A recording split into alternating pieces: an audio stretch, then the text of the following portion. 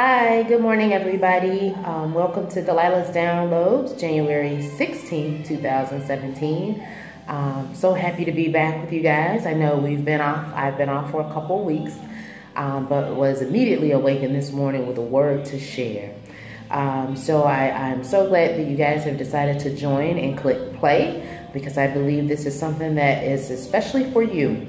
Um, so today, um, coming at the word, just so that you um, have a little time to get your Bibles all prepared, um, we're going to be coming from Romans 2, verses 16, I'm sorry, verses 6 through 11. Specifically verse 11, but want to give a little context before we roll right into verse 11.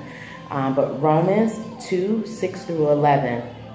And as always, we'll just get started with a word of prayer, um, asking that the Holy Spirit just come into this place, um, both physically and virtually, um, and just anoint us with the Spirit and create an environment where God's word can not only just be heard, but it can be consumed in our heart and replicated in our life. We want, Lord, we ask that you come in and deposit a word that can show up and manifest itself in our life.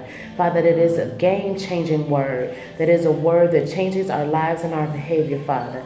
Holy Spirit, that we ask that you just stay in this space, um, creating a right heart, a right ear, and a right mind that we are able to just just adhere to the word, thirst for the word, seek more of the word, um, and share the word with one another. And we just bless every home, every person that is represented here. Um, and we ask that that's just uh, um, everything that the locust has eaten, Father, that is restored amongst these families, Father, these holy families, Father. In Jesus' name we pray. Amen.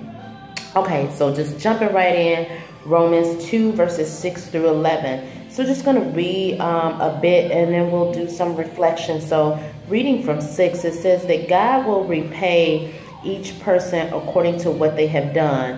Um, and just a little more context, um, here in Romans, there's so much in Romans. there's just so much in Romans. Romans is Paul, one of the epistles um, where Paul writes to the the Church of Romans and is really foundational work on, you know, who Christ is, what it's like to what it's like to be a Christian. Um, if you haven't kind of read through Romans, Romans is a great place to read through as far as um, what our Christian walk uh, is and should be, and, and, who Christ is to us. The Bible does it in general, but Roman the, Roman does a bang up job for uh, with it. And here they're talking about Paul is specifically talking about um, judging judging. Um, so really kind of quickly as the plane goes over, thought I was going to be up early enough to avoid this. I'm sorry. Um, it talks about how God will judge. Um, it talks about how God will judge. Not how we will judge, but how God will judge. Uh, so just going back into it. So God will repay each person according to what they have done. Um, to those who by persistence in doing good seek glory, honor, and immorality, he will be giving, given eternal life. For those who are self-seeking, who reject the truth and follow evil, there will be wrath and anger. Um, there will be trouble and distress for every human being who does evil, first the Jew, then the Gentile. But glory, honor, and peace for everyone who does good, first the Jew, then the Gentile. For God does not show favoritism. For God does not show favoritism. So that's really what I want to talk about. But we'll talk about um, the other verses a little bit first as well. So it says, God will repay. It says that in verse 6 that God will repay each person according to what they've done.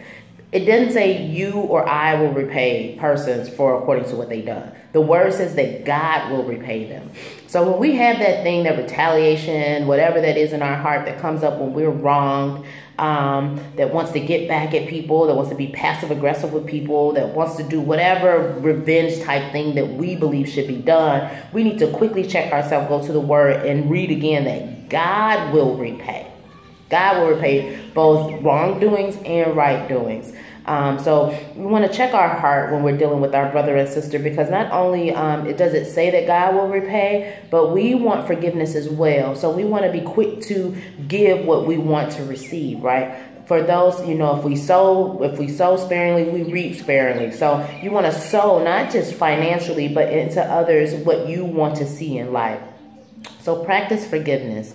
Um, he goes on to say in 7 that those who by persistence, Paul says, those who by persistence in doing good work um, it, um, doing good, seek glory, honor, immorality. He doesn't say those who are perfect, right? He says that those by persistence, so that we're we're chasing after a relationship with God. We are um, we are adhering to you know seek ye first the kingdom of God and all of His righteousness. We are persistent in our pursuit with God. Um, so that's to say, don't allow the condemnation to come in when we fall short, because we'll all fall fall short. That's why, thankfully, His mercies are renewed every day. Um, so don't allow the condemnation to come in and stop your works with God. Because as long as we're persistent, then there's some some rewards that comes to us. Um, it also says that if but if we choose to be self-seeking and reject the truth and follow evil, there'll be wrath and anger. Now, it's not saying God's gonna come down with brimstones, hell and brimstones, and just damn us to hell. But if we choose to step out of God's will and follow a line that's not according to God's will, then we can't expect all the peace and blessings that God has promised. There will be anger, there will be wrath. Um, but these are things that we have put down on ourselves in the world because we are out of line with God's will. So we want to make sure that when we see ourselves falling, we're getting back in line um, ASAP. That's an ASAP deal. Um, going on to verse uh, 9 there will be trouble and distress for every human being who does evil first the jew and gentile. So similarly if we fall out of line with god it's not him specifically punishing us. It's us not fully living in the promise of his will and the blessings of his will. And it talks about jews and gentiles because it talks about pre-christ and post-christ that all beings are covered by the word of god. Um, so that just really wants to call out especially sorry especially early on here where Paul's talking to historic churches um, that have been under, you know, the Jewish realm, if you will, right? The law, if you will. So he wants to know that we're talking to everybody. We're talking to, the word talks to everybody. Um, so skipping down to 11, for God does not show favoritism. And we hear this in another way um, in the King James Version that God is not a respecter of persons. So it's basically saying, and this is really what I wanted to talk about seven minutes in, so give me a few more minutes, um, that God is not a respecter of people. God does not show favoritism. So everything that the word speaks about is talking to you.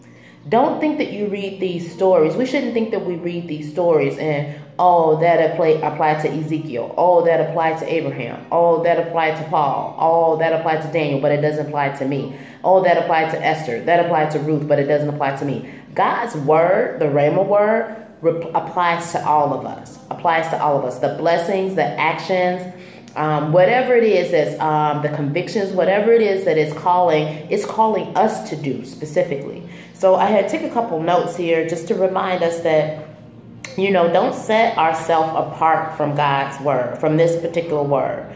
Um, it applies to every single person. Um, it applies to every single person. So when the when the word says, if we reap uh, sparingly, we sow sparingly, that is you and I.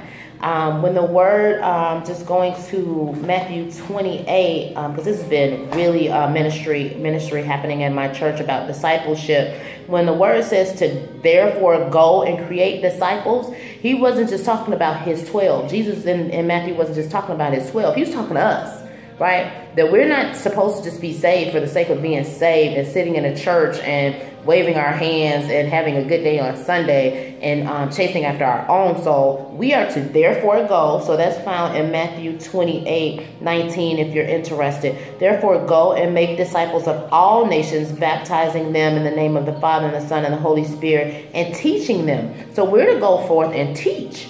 We're not just to consume. We're not just to get poured into. We're also to pour out. So when God, when Jesus talks about that in Matthew, he's talking about us, right? And teach them to obey everything. There's typically an action with the blessing with God. If you obey, you do this, right? If you tithe, this happens, right? Supernatural provisions happen. So there's action for us to do in the word. And it's not good enough. It's not good enough, family, that we understand what needs to happen and that we do it. We have to teach others to understand what needs to happen so that they can do it. We have to hold hands and, and teach and pour into people to create disciples. Um, when it uh, there was another thing that I wanted to share with you guys when it talks about Daniel. So with the Daniel fast going on right now, I've been studying Daniel as well. Pray for me. I'm almost there. 20 seconds the last day. Um, when when Daniel 117, when it says to these four men, um, that was Shadrach, Meshach, Abednego, and Daniel, um, God gave knowledge, understanding of all kinds of literature and learning, and Daniel could understand visions and dreams of all kind. You can understand visions and dreams of all kind. God can give us all understanding of learnings and literature. We but need to ask. That's just not applicable to Daniel and, and his and his guys. That's applicable to us. So we need to understand when we approach the Bible that this is a living word for us. This is not just stories about people of once ago. These are um, these are these are examples of how God can show up in our life. These are lessons and teachings on how God can show up in our life. So don't cheat yourself, fam. Don't go through the Bible and just read and, oh, that's a good story, and I understand the context of the story. Also understand that those lessons, blessings, actions, um, consequences, all of that applies to you. And then once you understand it, make sure that the next person understands it understands it because that is our job to go out to save souls and create disciples. So that's really what I had to share with you guys today, um, specifically Romans 2, uh, 11, that God does not show favoritism. Um, King James Version, God is not a respecter of people, persons. Everything in the word applies to you. So I invite you as always to sit with your word, um, hear what God has to say to you, hear what the Spirit has to say to you, um, digest, let that thing manifest in you, and go out and save the world. I'm sorry, if you're looking at anything short of that, you're not looking big enough. Go out and save the world. Um, so that is what I had to share today, Delilah's Downloads. Uh, it was Romans 2, 6 through 11. Romans is full of full, full of great stuff. So um, go check it out. Um, but with that, as I always, want to give an opportunity for anyone who may be listening that is not currently um, under the guidance of the Trinity of, the, of God, Jesus, and the Holy Spirit, and ask you um, if you want to accept Christ as your Savior, uh, just to repeat after me. Father God, thank you for this opportunity to come before you. Jesus, I thank you for dying for my sins and rise, rising on the third day. I ask that you forgive me of all my sins and come into my life and lead me from this day forward. In the name of Jesus, I pray. Amen. Well, guys, that's it. Delilah's Downloads, January 16th, 2017. Um, happy Martin Luther King Day. I'd be remiss if I didn't say so. Another great man of God. Um, so um, with that, I bid you guys a farewell. Um, save many souls, and including your own. Have, have a good one.